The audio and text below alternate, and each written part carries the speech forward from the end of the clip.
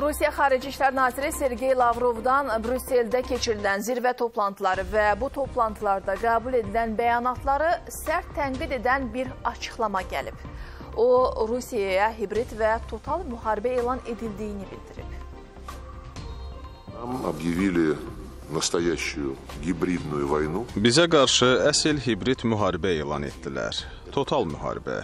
Məqsədləri gizli deyil. Onlar bunu açıq elan etdilər. Onların məqsədləri Rusiya iqtisadiyyatını və bütövlükdə Rusiyanı məhv etmək, sındırmaq, dağıtmaq, boğmaqdır. Bu sanksiya qanunsuzluğunda Qərbin Rusiyaya təbliğ etdiyi bütün dəyərlərin, ifadə azadlığı, bazar iqtisadiyyatı, şəxsi mülkiyyət toxunulmazlığının dəyərsiz olduğu aşkara çıxdı.